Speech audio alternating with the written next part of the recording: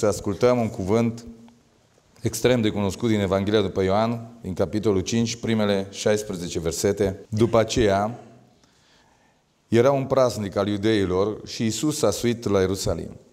În Ierusalim, lângă poarta oilor, este o scăldătoare numită în evreiește Betesda, care are cinci pridvoare. În pridvoarele acestea zăceau o mulțime de bolnavi, orbi, șchiopi, uscați, care așteptau mișcarea alpei. Căci un înger al Domnului se cobora din când în când în scăldătoare și tulbura apă.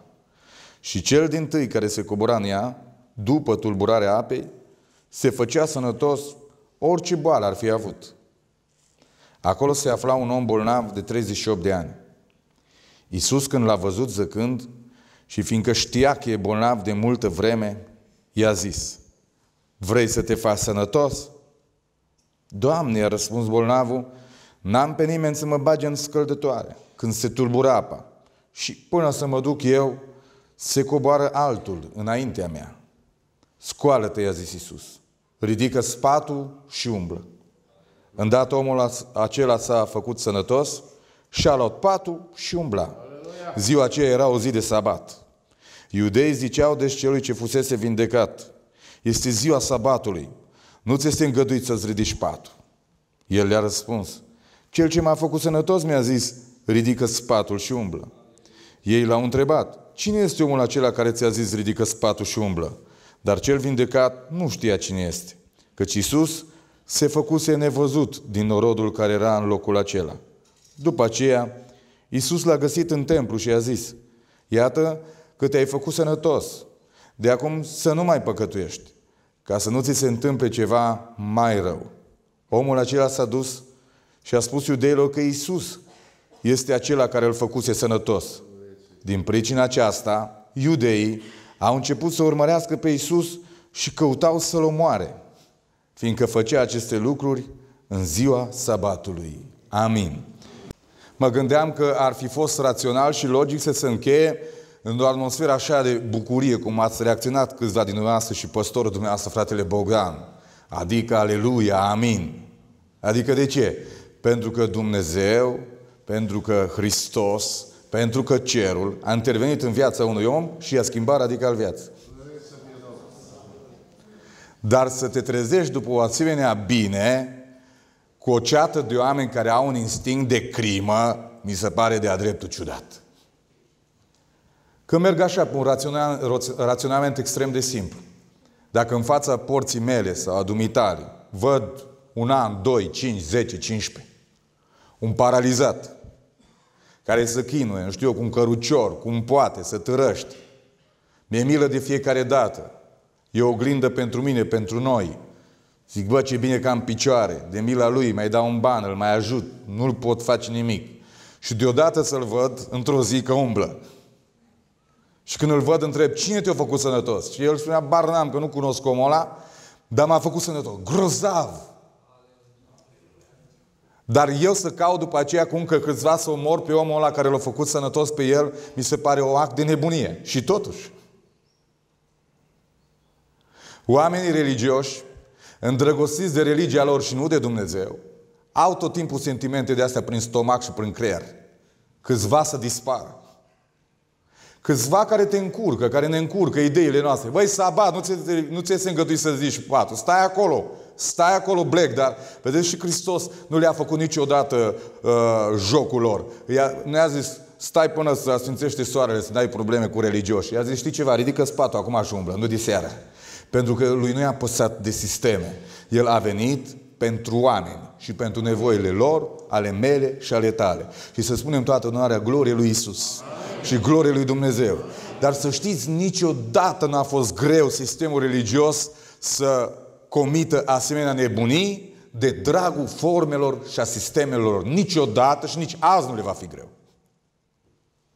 Pentru că dacă ești îndrăgostit de religia ta și nu de Dumnezeu, testul e simplu. Oamenii îndrăgostiți de religie nu iubesc oamenii. Gata.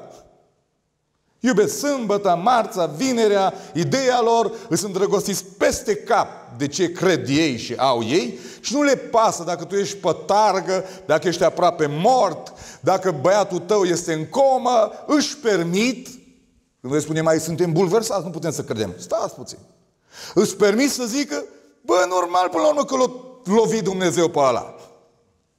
E normal că a pățit-o copilul, că dar cum să-i mai trezească Dumnezeu? Ei, când avem instincte de astea prin stomac și prin creier, credeți-mă, suntem aproape de oameni ăștia. De aceea mă rog în seara asta ca puterea lui Dumnezeu să se atingă de noi Amin. și să ne ajute Dumnezeu să ne schimbăm. Amin. Că duhurile astea și sistemele de gândire de genul ăsta n-au dispărut. De multe ori avem în mintea noastră că doi, trei n-ar fi niciun păcat dacă Dumnezeu i-ar face dispăruți. Dar Dumnezeu nu se ia după noi și Dumnezeu este prezent aici la tabor în seara asta. Lăudați să fie Domnul. Sigur că toți predicatorii întotdeauna am mai predicat din textul ăsta, dar zilele astea Duhul lui Dumnezeu m-a frământat într-un mod, am zis eu, pentru mine diferit și m-am întrebat la un moment dat citind textul ăsta, Doamne, de ce Betesda?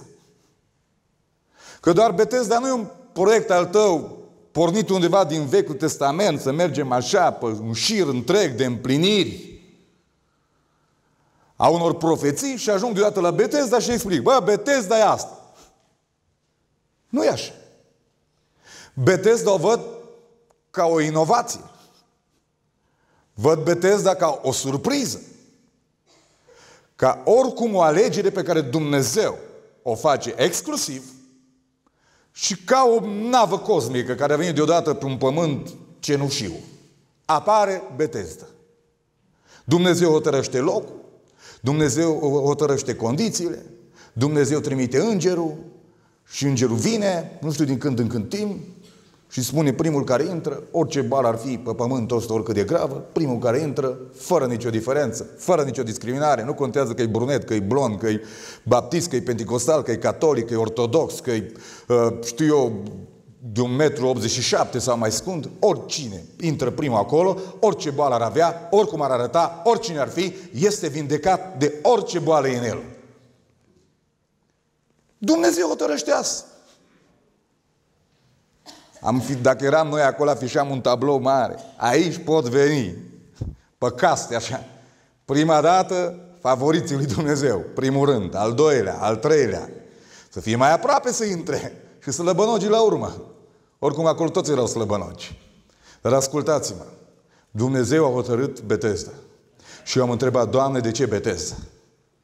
Și Dumnezeu, prin Duhul Sfânt, mi-a răspuns pentru că oamenii nu mai au unde să viseze. Că viața lor mai poate fi schimbată cumva. Oamenii Gabi Zăgrean din vremea aceea nu mai aveau vise. Vise care se pot împlini. Sunt terminați.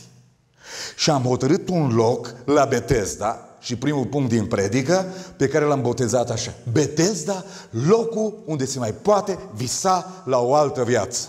Și spun împreună cu voi, Aleluia lui Dumnezeu. Că mă rog în această seară aici, între noi la tabor, Dumnezeu să facă o adevărată betezda. Aleluia. Habar n-am dacă mai ai vreun vis pe lumea asta. Și nici măcar nu știu dacă nu cumva ne-am blocat într-un vis de genul. Vreau să termin o facultate, dar acesta e vis înalt. Ăsta e un vis absolut normal, că au, au terminat și alții. Nu e nimic nou sub soare din punctul ăsta de vedere. Că ți-ai fixat să ajungi într-o funcție. O să ajungi. Dar asta e vis?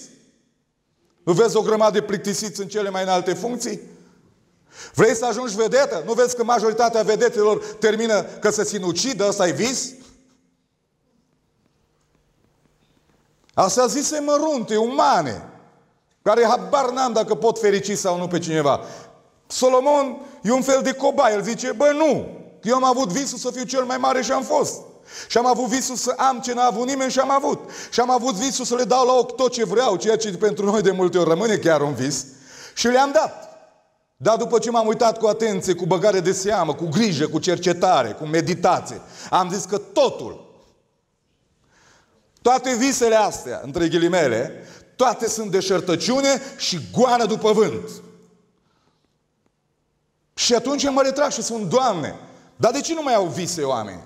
Pentru că cineva ne-a furat sistematic, clar, pe față, visele. Avem un mare dar de la Dumnezeu, care se numește sănătatea. Mulțumim lui Dumnezeu pentru el, cel care îl avem. Dar câți dintre noi ne-am lăsat furați și ni s-a furat pe față sănătatea. Câți? Într-o noapte Dumnezeu mi-a dat, cred că o revelație pentru un prieten la care țin foarte mult și care i-am spus, bă, tu te distrugi. Și el spune, da, mi-am distrus sănătatea. Acum ia injecții de câteva zile, că i s-a descoperit o pată pe plămâni. Până la un punct eu aproape că am fost la limita de a zice așa, să-l sperii mai mult decât să cred că îi se poate întâmpla ceva în zona asta sănătății. Dar într-o noapte, de vreo trei nopți, nici nu știu dacă i-am spus soției, am avut un vis cu el. Și l-am văzut într-un elicopter, cu ambele uși deschise, cu jumate din picioare afară și se ținea cu ambele mâini de o țeavă. Iar cel care conducea elicopterul, știți ce îi făcea? Odată zbura direct în sus. După aia venea într-un picaj jos. După aia se întorcea lateral. Aproape Elicia dădea de pământ. După aia iar începea, după aia iar se înfărmânta. Și am stat absolut că era inima mea cât un purice și el dintr-o parte în alta ține se țeavă, așa era. Am zis gata, acum să dărâm, acum este praf. Vreau să spun că noi nu avem cum să visem așa prin elicoptere ținând de țevi. Pentru că noi ignorăm niște lucruri enorm de simple pe care cel care ne-a adus Biblia asta și care este însuși cuvântul întrupat al lui, al lui Dumnezeu, adică Isus Hristos Domnul, ne-a spus să avem grijă de mintea noastră. Ne-a spus sau nu? Amin. Și ne-a spus, nu vă tulburați, nu vă îngrijorați de nimic. Uitați-vă la păsările cerul dacă nu, nu sunteți teologi și nu citiți în Biblie. Dar și asta fi tot citind în Biblie. Uitați-vă la crinii de pe câmp. Uitați-vă, uitați-vă bine la, la, la aceste aspecte. Eu sunt tatăl lor. Și eu m-am angajat că mă îngrijesc de ele. Și o fac. De foarte multă vreme. Uitați-vă cât de glorios arată un crin. Păi Solomon, cu toți, toate casele de modă din vremea aceea și erau, nu va reuși și n-a reușit niciodată să arate ca și un crin pe care eu l-am îmbrăcat și l-am parfumat și l-am pus exact în fața ochilor tăi. Dar eu și dumneavoastră, cu multă insistență și cu multă nebunie uneori, ne-am pus mintea cu lumea asta. Și ne-am croit de tot felul de amăgiri pe care le-am botezat că vise. Și am zis să ajungem, să facem, să dregem. Și diavolul numai așa ne întinde momeala și noi tot după ea și după ea și amăgirea asta continuă de ani și ani de zile. Ne trezim praf. Și spune, diabet. De ce, domn doctor? Am mâncat prea multe prăjituri, nu puteai să mai mănânci o remorcă. Uh, cu tare. De ce, do- de ce, domn doctor? Am mâncat prea multă carne de prog, nu. Dar de ce? Din stres. Dar ce, vă spun ceva nou acum? Din stres. Păi simțim că ne mănâncă în tălp ceva, nu mai avem răbdare, suntem terminați, suntem măcinați la semafoare, la intersecții. Uitați-vă la voi, uitați-vă, e o oglindă care eu nu mă văd descriu, nici nu e greu, că mai trec și eu prin fața ei. Și nu mai are răbdare nimeni, de la tată, la mamă, la bunici, la copii, toți suntem pierduți aproape. Și pe fondul ăsta suntem pocăiți. Penticostali, ortodoxi, credem în Dumnezeu, în Evanghelie. Și spunem totul este în regulă. Nu e în regulă nimic.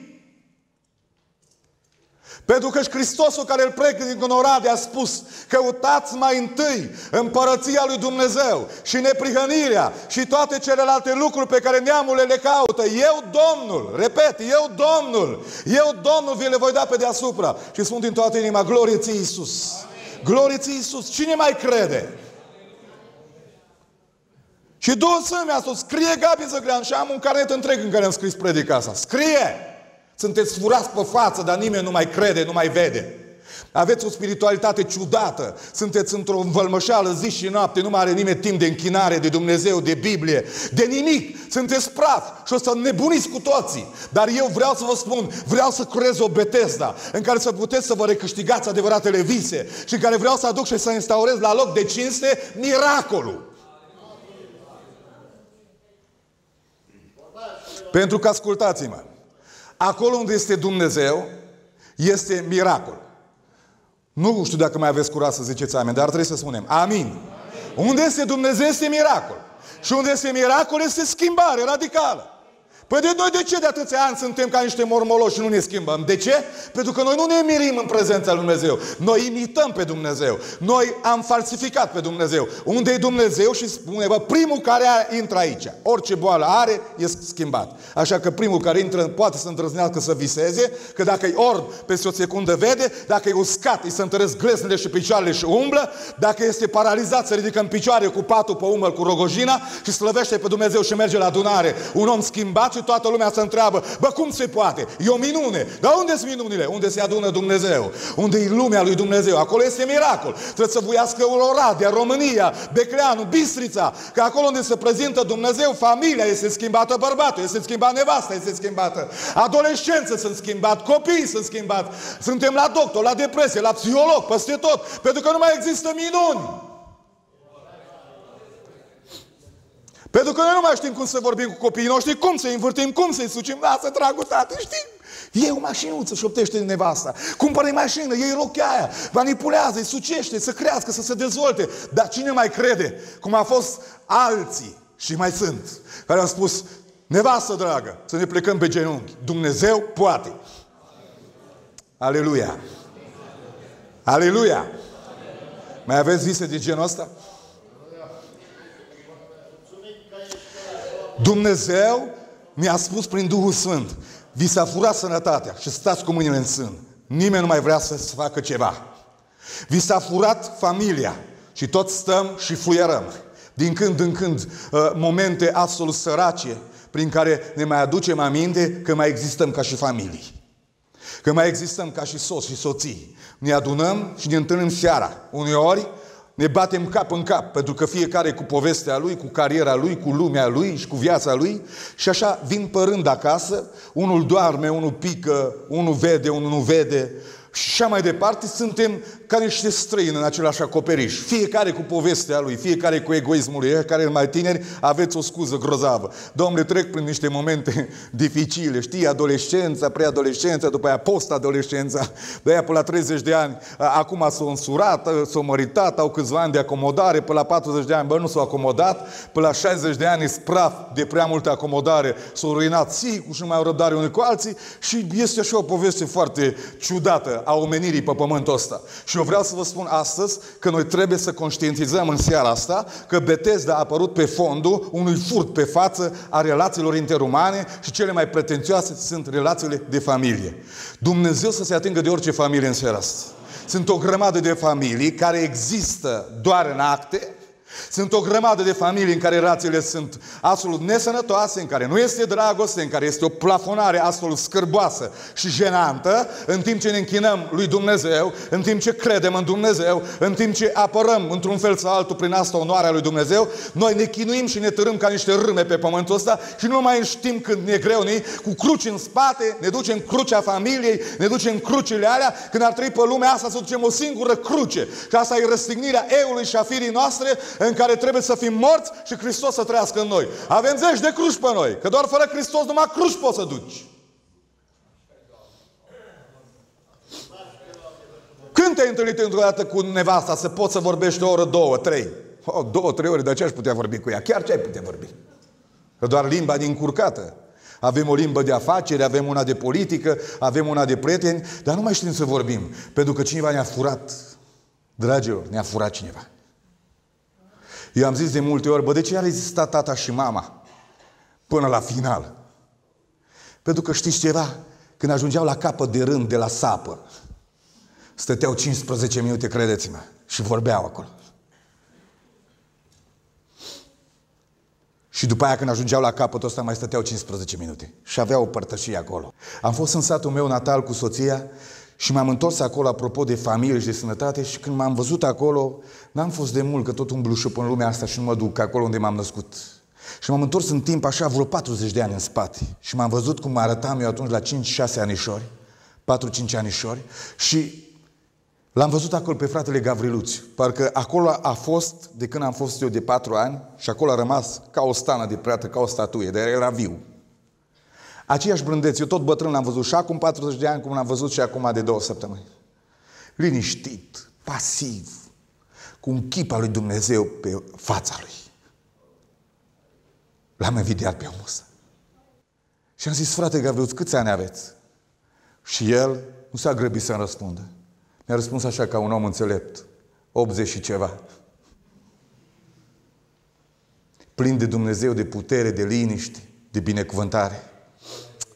Mi-e dor de oamenii ăștia. Poate ar trebui să fiu eu unul din ăla. Poate ar trebui să fii tu unul din ăla. Dar știți ce s-a întâmplat cu fratele Gavriluțiu? Eu știu. Și n-a avut, credeți-mă, doi, trei copii. Nici măcar patru când noi. A avut vreo 14. Știți ce a făcut? El, omul ăsta, a avut în casa lui și în viața lui o permanentă beteză. De aceea a avut vise înalte, foarte înalte. Ceea ce noi, generația asta, cu toată tehnica și nebuniile noastre, nu ajungem la degetul piciorului.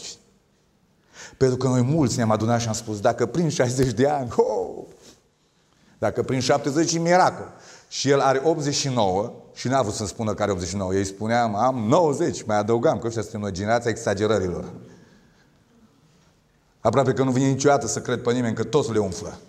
De el spune 80 și ceva. Cine a zis 89? Pentru că și prin asta a arătat că e smerit. Și că depinde de Dumnezeu și de Harul Lui. Lăudat să fie Domnul. Simțim familia că este în pericol și odată cu ea am pierdut din liniștea și din bucuria acestor oameni. Nu odată am auzit, nu mai pot dormi noapte. Unii iau medicamente să doarmă noapte. Zice, ia medicamente că te trezești, parcă ai dormit un an. Și am zis, nu vreau să mă trezesc decât așa cum trebuie să mă trezesc. Că n-am luat și nici nu vreau să iau. Pentru că eu continui să cred în Biblie. Că în Biblia asta scrie salmistul la un moment dat, eu mă culc și adorm în pace. Pentru că există un Dumnezeu, Dumnezeu salmistului, nu știu cum e al tău și al meu în vremea asta. Dar Dumnezeu salmistul spune, Dumnezeu se ocupă de somnul meu noaptea. Așa scrie el. Că numai Tu, Doamne, îmi dai liniște de plină în locuința mea. Putem să spunem toți amin? Amin? E darul Tău. Eu dorm pentru că Tu mă dormi. Și Tu îmi dai liniște de plină în locuința mea. Binecuvântat să fie Domnul. Binecuvântat să fie Domnul. Și mi-a zis Duhul Sfânt, scrie Gabriel Zăgrean, o grămadă de oameni nu mai dorm noaptea, să învârt așa ca pești. Mi-a zis un om de afaceri, Întotdeauna să îndrăznesc să sune oamenii de afaceri că ei nu dorm noapte. Dați-mă de ce? Pentru că sunt dator la bancă. Ascultați-mă, asta este așa, vorba fratelui Lască, un zâmbet, dar e un mare suspin. Pentru că cineva ne-a furat toată această poveste a vieții noastre. Și ne simțim trădați și să ne întrebăm ce să facem. E săptămână de evangelizare. Mergem la biserică și ce se va întâmpla după săptămâna asta cu viața ta și a mea? Ce se va întâmpla după seara asta concret? Va fi aici un loc în care Dumnezeu, prin puterea Evangheliei și a Duhului Sfânt, în numele Lui Isus Hristos, se va atinge de viața ta și a mea și a noastră și de casele noastre și va face niște minuni extraordinare încât să plecăm acasă vindecați și eliberați. În numele Lui Isus mă întreb. Credeți asta? Binecuvântat să fie Domnul. Binecuvântat să fie Domnul. Și am zis, Doamne, e adevărat. De a zis, Domnul, nu e atât. Cel mai grav lucru este că pe acei oameni din vremea aia a furat și religia. Și a zis, adu-ți aminte, vei vedea cu ochii tăi, de acum ai citit Evanghelia. Când va intra fiul meu în templu și va răstura mesele schimbătorilor de bani și șmecheriile toate de la templu le va da pe față.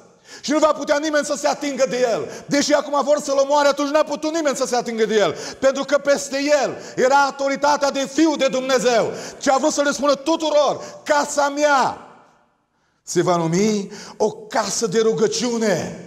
Iar voi ați prefăcut-o într-o peșteră de tâlhari în care hoții au acces, în care totul este furat, tot, orice om vine aici, aici sunt hoții. Orice om vine la închinare e furat, pentru că există o amăgire, există o manipulare pe față și din care se profită. Există o amăgire a diavolului și mulți din cei care slujesc biserici mari, colosare, mici și sisteme religioase profită de durerea omului, profită de singurătatea lui, de naivitatea lui, de căutarea lui, de zdrobirea lui și îi amăgesc vânzându-le roșcove lipsite de putere și viață. Nu se poate. Templu trebuia să fie locul în care Dumnezeu vorbește, în care omul vorbește cu Dumnezeu, că asta înseamnă rugăciune, în care există un dialog. Eu vorbesc cu Dumnezeu și Dumnezeu îmi răspunde. Și când răspunde Dumnezeu, acolo se întâmplă semne și minuni. Acolo se rezolvă problemele. Acolo pleacă oamenii schimbați. Acolo pleacă oamenii transformați acasă. Atinge, Doamne, o radea în seara aceasta. Atinge, Doamne, inima mea și mintea mea. Am lăsat ștacheta jos pentru că ne-am învățat cu un Dumnezeu care nu mai prea face nimic în ultimii ani. Și am ajuns și noi predicatorii să justificăm într-un fel sau altul neacțiunea lui Dumnezeu. Și am zis, nu vrea Domnul. Nu vrea Dumnezeu să te vindece, asta e. E El, e El pe aici și El vrea să te duci acasă exact cum ai venit, nu cred asta.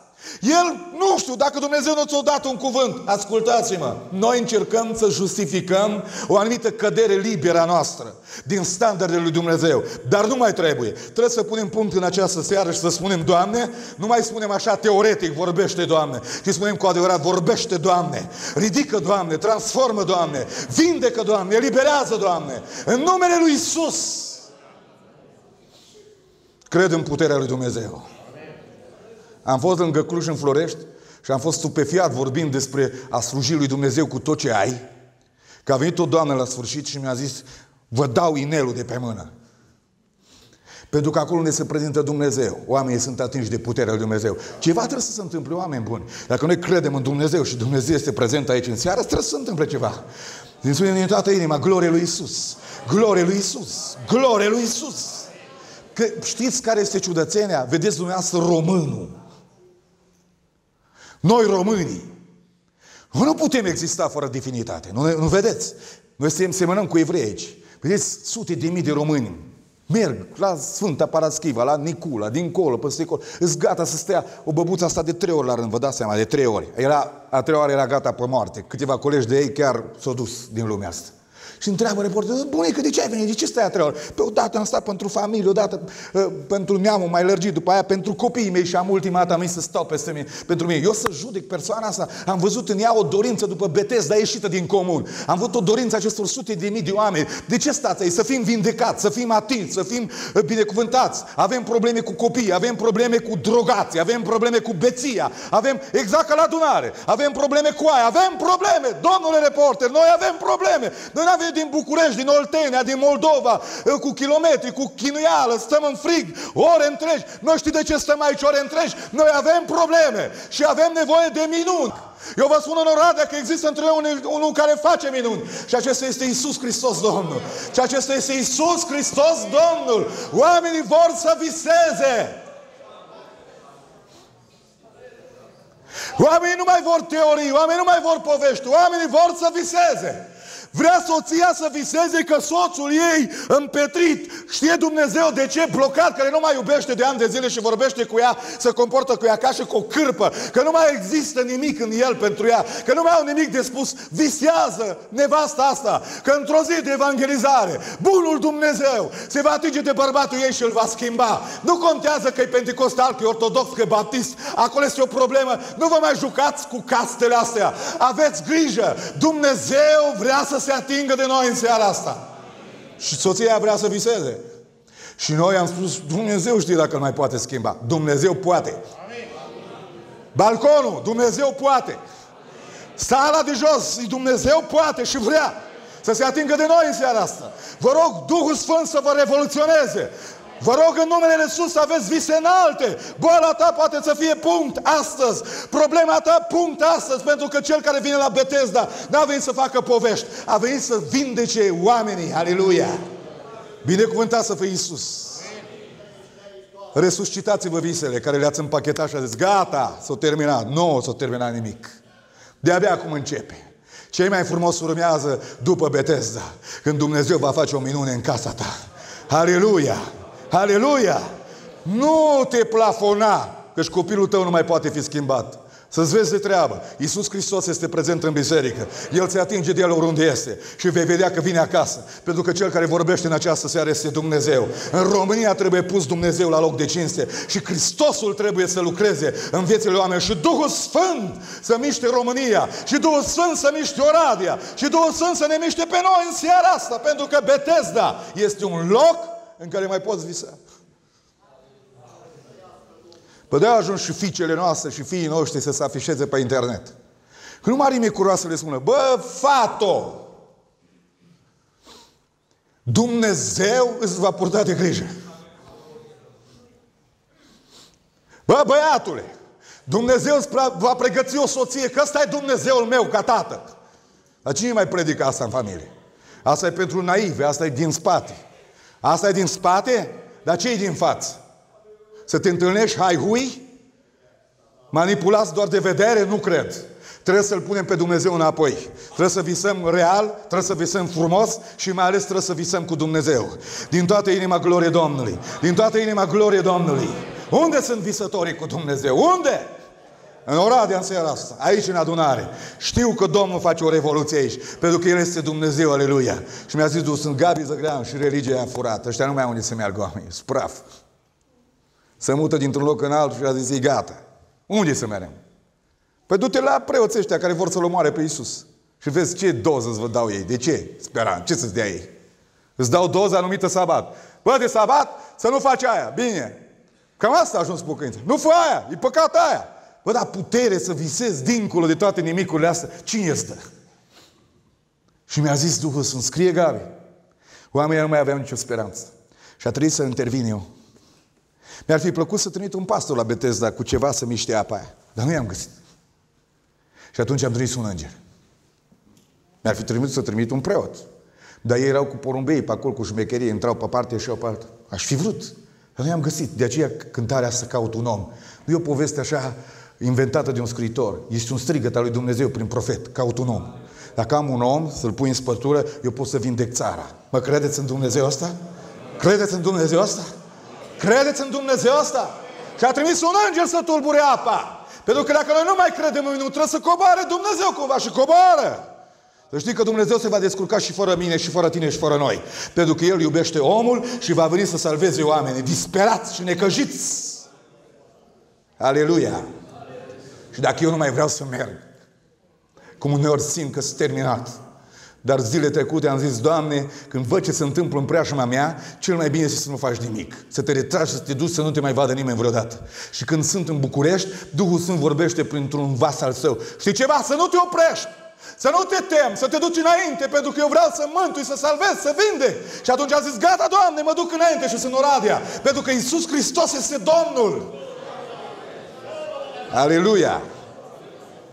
Visul tău, problema ta, dezamăgirea ta, închistarea ta, ai cedat, te-ai blocat, da. Vii la biserică și pleci, dar știi că în inima ta totul e praf, totul e o dezamăgire, totul e o durere, totul e o spaimă, totul e o pierdere. Îți spun ție în seara asta, îndrăznește să visezi. Pentru că Isus Hristos este prezent în biserică. Amin? Amin. Doi. De ce Betesda, Doamne? Și a zis, scrie. Și am scris. Betesda este un loc al asumării publice a problemele, problemelor și nevoilor care imagină vizibil sau invizibil pe oameni. Iubiților, la Betesda nu-i loc de rușine și de jenă. M-ați înțeles? La Betesda nu-i loc de aroganță. Nu! La Betesda e loc pentru oamenii în nevoie, pentru oamenii bolnavi și pentru oamenii care nu mai au speranță și știu că singura lor speranță este Dumnezeu. Care mai aveți altfel de speranțe, mereți pe speranțele voastre. Care mai aveți aroganță, să vă scoateți pieptul că vă descurcați și vă creșteți copiii voi și vă însurați să vă măritați, Betesda nu-i pentru tine. Spun clar asta. Betesda nu-i pentru oameni îndrăgostiți până în vârful nasului de imagine. La Betesda nu se poartă asta. La Betesda vin orbi, vin paralizați, vin uscați, vin într-un cuvânt cei care sunt bolnavi. Și Isus își respectă un principiu clar că l-a spus. Nu cei sănătoși au trebuință de doctor, de vindecare, ci cei bolnavi. Iar eu n-am venit să chem la pocăință și la minul, un miracol și la schimbare și la vise înalte pe cei neprihăniți. Nu, neprihăniți să rămână unde ori vrea. Ce am venit să-i chem pe cei păcătoși. De aceea spun în punctul 2 în seara asta, dacă vrei visuri înalte cu Dumnezeu și dacă vrei să crezi că Dumnezeu va face o minune pentru tine în seara asta, trebuie să ai curajul să-ți lași jena și rușinea la o parte, trebuie să ai demnitatea, să dai de pământ odată cu imaginea asta, eu sunt, și să îți asumi într-un mod public în această seară problemele care te macină. Și să vii cu ele la crucea lui Isus Hristos amin. și să cer lui Isus Hristos să atingă de tine. Spune-mi acum amin. amin. De ce nu te schimbi? Îți spun eu. Că nu mi-e greu. Că și eu am trecut prin astea. Pentru că dacă ai probleme cu o anumită zonă a vieții tale, cum ar fi lăcomia, și tu tot o justifici, nu știi cum să o justifici. Trebuie să vii să-i spui în fața lui Dumnezeu, asta mă macină, nu mă mai pot opri. Imaginal sau real? Asta e. Dacă ai probleme cu ochii și te uiți unde nu trebuie și tu știi asta. Și îți vinzi imaginar sau faptic sentimentele pentru nevastă ta altcuiva, nu putem vorbi aici de Betesda așa teoretic și politic. Trebuie să spunem că dacă cineva are o asemenea problemă, înseamnă că în această seară, într-un mod clar, aici spune acel bărbat, eu sunt bolnav, ochii mei sunt bolnavi. Și Iisus Hristos poate să se atingă de această persoană și să-i schimbe viața. Spuneți amin? am speriat cu exemplul ăsta, dar asta am vrut. Nu eu, Duhul Sfânt al lui Dumnezeu. Și apoi câte nu mai purtăm noi în inimile noastre? Hai, dați-vă drumul! Câte invidii! Câtă competiție! Competiție între aia, între aia, între aia, nu, nu spun nimic. Competiții peste tot, la orice nivel. E o competiție surdă, an electoral, jocuri de culise, oameni buni, boli, boli grele. Boli grele. Și noi spunem printre degete așa cu tupeu uneori, noi suntem pocăiți. Care pocăiți? Că un om pocăit la ras, Hristos când s-a pocăit la ras total. El nu mai trăiește, a spus fratele Sfara. Hristos trăiește în el. Și viața pe care o trăim în trup, o trăim în credința în Fiul lui Dumnezeu, care ne-a iubit și s-a dat pe sine însus pentru noi. Galaten 2 cu 20. Spunem toată adunarea, amin. Și Iisus a spus, dacă vrea cineva să vină după mine, să se lepede de sine, să-și ia crucea în fiecare zi să mă urmeze. Că dacă cineva vrea să salveze viața, o va pierde. Dar cine o pierde viața lui pe el pentru mine, o va câștiga. Și spun cu toată adunarea, trăiască Domnul în veci. Trăiască Domnul în veci. Ce-i în inima ta în seara asta?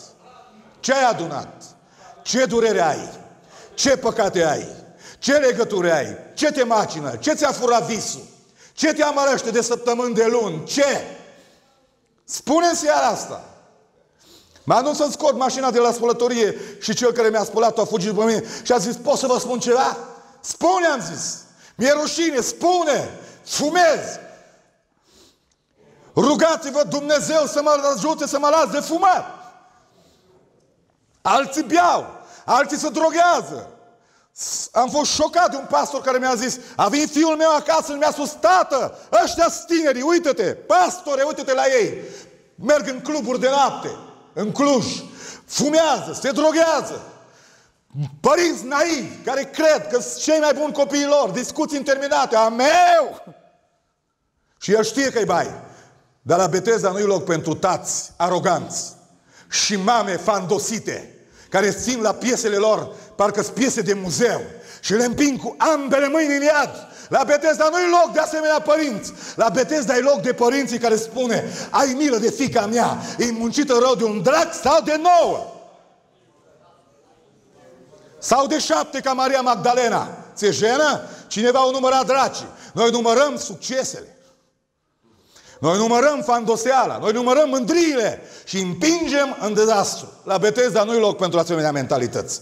La Betesda merg cei care se leapă de religie, de sistem, de tot ce înseamnă asta și spune noi mergem la Betesda și ne asumăm public că suntem bolnavi, să ne arate toți cu degetul, mergem la Betesda pentru că acolo și de acolo au plecat oameni cu vise înalte, schimbați de puterea lui Dumnezeu.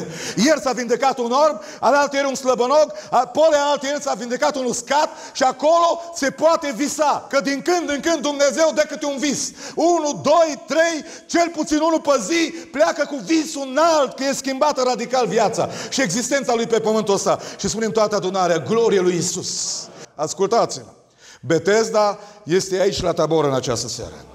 Și dacă tu și cu mine vrem să primim un vis înalt de la Dumnezeu și să fim transformați de puterea lui Dumnezeu, trebuie să ne asumăm într-un mod clar în această seară problemele care le avem. Și eu zic, Duhul Sfânt să cerceteze adunarea. Amin. Duhul Sfânt să cerceteze orice inimă. Eu abar n-am ce probleme sunt la balcon sau în sală, dar cred că Dumnezeu poate, aleluia, să se atingă de orice inimă, aleluia. Și ultimul gând, timpul a zburat așa de repede, nu așa? Grozav de repede. Am zis, Doamne, îți mulțumesc că există Betesda. Dar am o întrebare și de fapt am pus întrebarea asta ca să, parcă am vrut să mă încui singur. Și zis, Doamne, dar de ce te-ai atins de slăbănogul ăsta? Pentru că eu o să mă ridic să predic, Doamne. Și oamenii se întreabă, bă, Domnul are de selectiv. De ce slăbănogul? Și Domnul mi-a dat un răspuns care a însemnat într-un fel mat. Pentru că eu mă îndur de cine vreau. Amin. Și am zis, Doamne, amin. Poți să mai pun o întrebare, Doamne? Da. De cine vrei să te înduri? Și parcă intru într-un joc cu Dumnezeu. De cine îmi place? Și am fost ca Avram. Ultima. De cine îți place? Și am la pixul și am scris. Și Domnul mi-a spus, îmi plac oamenii și persoanele care sunt luptători. Aleluia! Aleluia! Și pentru că nu-mi place niciodată să forțez Biblia, am zis, Doamne, ajută-mă. Și a zis, tu n-ai citit ce a scris Ioan? Că eu îl știu pe el de multă vreme? Știi ce am văzut Gabi Zăgrean la el? Că de atâtea ori s-a vindecat cineva în fața lui. Și nu l-a distrus invidia. Tot pe ei, tot lor, nu mai înțeleg nimic de la Dumnezeu. Ai pierdut visul. Nu dacă vezi pe cineva că Dumnezeu îl vindecă și îl schimbă. Ar trebui să ai un sentiment de bucurie. Amin. Și de de încurajare, că de-aia vin mulți la Betesda, pentru că mulți erau vindecați și spuneau altora, acolo se poate, acolo se poate. Și când o să mă duc eu, e altul în fața mea. Și? Nu te-ai enervat asta? Nu. Dar ce ai făcut? M-am dus înainte. Și ce s-a întâmplat? Al doilea, ori iese afară, vede, bucurie. Și tu rămân. Și ce ai de spus? Nimic. Eu merg înainte. Eu lupt. Dar știi care e visul meu? Într-o zi eu o să umblu în picioare. Asta e lupta mea. Și nu mă las până la capăt. Lupt, lupt, lupt, lupt. Una din cântările aia cu credință era tocmai asta. Că ați încetat să luptați și să credeți chiar atunci când eu am vrut să mă ating de voi. Unde sunt luptătorii? Unde sunt luptătoarele? Unde sunt mamele alea care nu se dau bătute? Unde sunt bărbații preoți în familia lor? Unde sunt predicatorii? Unde sunt slujitorii? Unde sunt pocăiții care luptă, luptă, luptă, luptă? Ce face Iacov? Sunt dezamăgit pentru că de la început am luat-o prost. De la început am fost un înșelător și gata, l-am înșelat pe frate, îmi vine cu turma și cu armata să mă împresoare, încerc să-i trimit niște cadouri, nu mai știu ce să fac, sunt disperat și stând singur în noaptea aceea, se prezintă un om, un om pentru el un om, un trimis al Lui Dumnezeu să luptă cu el. Să luptă, să luptă, 1, 2, 3, 4, 5 noapte, să-i vezi zorile și unul din luptători, trimis, venit din cer, spune, lasă-mă să plec. Și el spune, nu te las. Lasă-mă să plec, nu te lasă, să aruncă după el și îl prinde, lasă-te, nu mă las, lasă-te, nu mă las. Dar când mă lași? Nu te las, Nu te las până când tu nu mă binecuvântezi pe mine. Și atunci a dat una la încheietură și la șchiop. La a zis, nu mă las, nu mă las. Care ți se numele Iacov, înșelător? De azi să știi că datorită luptei tale te schimb numele. Ești Israel. Cel care te-a luptat cu Dumnezeu și cu oamenii și ai biruit și l-a binecuvântat în secunda aceea. Pentru că cel care binecuvântează este Dumnezeu. Dar Dumnezeu binecuvântează luptătorii. Aleluia! Luptă, frate, luptă! Luptă, soră! Luptă! Luptă! Pentru că cel care se uită la tine este Dumnezeu. Aleluia! Ai fi vrut să intervine la altieri, dar a vrut să te vadă dacă lupți până în seara asta. Doamne, dacă nu l-ai fi știut de atâta vreme, ziceam, așa ți-a venit ție pe loc, spontan, ca și la Pentecostal. Spontan mi-a venit. Dar aici nu e vorba de spontan. Aici e vorba de un Hristos care îi mărește viața lui de multă vreme și îl vede toate acțiunile lui. Ascultă-mă, trebuie să fii un om care luptă. Amin. Ești aici în seara asta? Doamne, de, de cine îți place? De luptători. De cei care nu se dau bătuți. De cei care sunt gata să meargă până la capăt, indiferent ce se întâmplă. Îți spun ție, soție, nu renunța, luptă. Iisus Hristos va face o minune în casa ta. Duhul Sfânt îți spune în seara asta. Ai spus de atâtea ori, gata, nu mai pot. Nu mai spune asta. Iisus Hristos poate. Tată, uite-te nu spre mine, spre Dumnezeu în seara asta. Nu ceda. Nu spune, cum mi-a spus mie odată un tată, plângând, îi să nu dau lacrime sub barbă. Frate Gabi, nu mai pot. Am obosit. Și erau obosiți, că aveau spre 70 de ani. Nu mai pot. Am plâns, m-am uscat pe picioare. Pentru copiii mei. Nu se vede niciun semn. Spuneți-mi ce să fac. Și am zis, frate Vasile, mi-este greu să vă răspund. Luptați până la capăt. Până când? Până când mai bate inima. Și plămânul mai pulsează aia. Luptați. Luptați. Soția lui a murit anul trecut, sora Rusanda, o mare rugativă și o mare luptătoare. Și mi-a spus Costel și ceilalți că în ziua mormântării au fost copiii lor respirați prin lumea asta de parte de Dumnezeu. Și trei dintre ei au luat decizie să se întoarcă la Dumnezeu. Binecuvântat să fie Iisus. Binecuvântat să fie Iisus. De cine îți place, Doamne? De cei ce luptă. De cine îți place, Doamne? Îmi place de cei care sunt nemulțumiți cu soarta lor.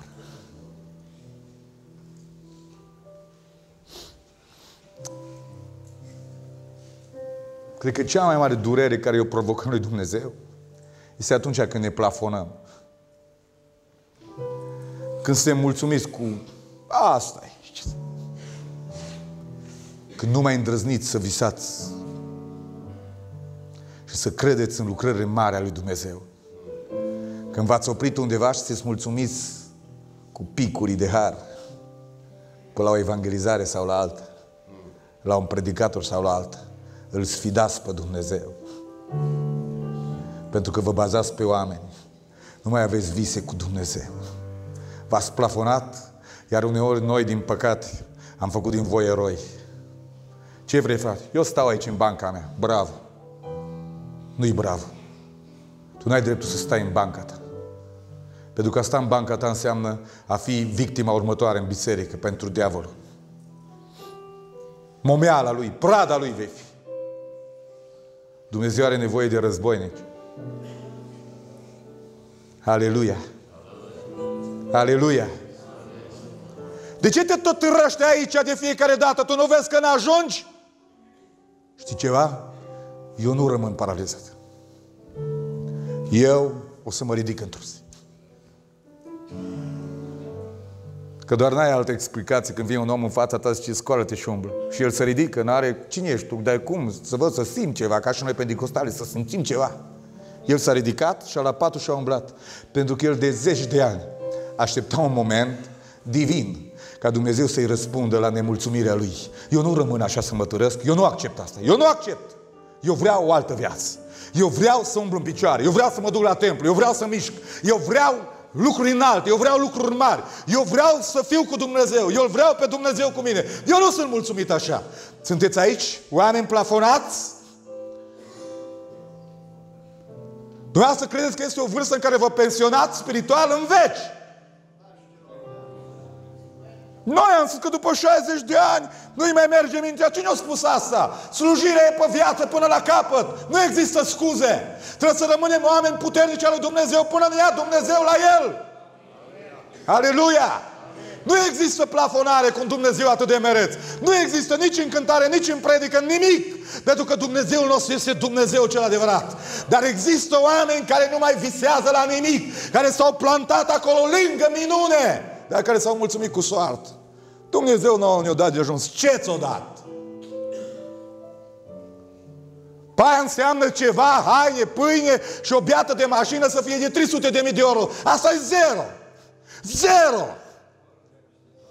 Pocăința nu e asta, simată Doamnă, Domnule și bărbați și femei și soră frate.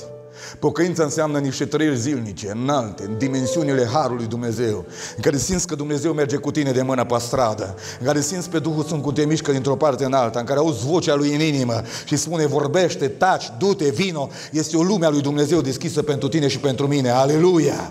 Aleluia! Binecuvântat să fie Domnul în veci. Gabi Zăgrean, știu de cine îmi place, de aia care nu sunt plafonați, de aceia care spun paralizați fiind cu probleme. Nu vreau viața asta, o refuz. Vreau să fiu o viață sănătoasă, vreau să fiu cu tine, vreau o viață înaltă, te vreau pe tine, Dumnezeule. Și eu, Dumnezeu, de-abia aștept să mă întâlnesc cu ei. Aleluia! Dar cum să lucreze Dumnezeu în viețile noastre? Cum? Să se bage că s-a băgat de multe ori peste noi? Când noi suntem mulțumiți exact cu programele secătoase și serbede? Cum să se bage Dumnezeu să facă o minune în viața ta când în rugăciunea ta îi spui îți mulțumesc pentru apă, sare și gămălie și zahăr, amin. Cum să poate să facă Dumnezeu minuni? Trebuie să spui în rugăciune, Doamne, pe strada mea vreau să mântui oamenii ăștia, la poliție, la avocat, pe unde umblați, la facultate, vreau să faci o minune. Eu vreau să văd, Doamne, o radă schimbată. De oamenii ăștia îi place lui Dumnezeu. Binecuvântat să fie Isus. Binecuvântat să fie Isus. Și mi-a zis, scrie și asta. Care e îngemănată cu cele două. Îmi place de oamenii consecvenți. N-a renunțat. A zis, astăzi mi se pare că în ora nu mă duc la Betesda. Azi simt așa, în paralizia asta mea, că nu mă simt prea bine. Nu mă duc la Betesda. Ce să facă Dumnezeu cu creștinii ăștia? Care la evangelizare inundă bisericile și parcările. Dar atunci când pleacă toate, e pustiu și gol. Când Dumnezeu a pus un Betesda în cursul săptămânii, care se numește Seara de Rugăciune, câți veniți? Dumnezeu iubește consecvența. Știut asta? A știut asta? S-ar putea să vină să-ți facă un miracol când tu nu ești aici.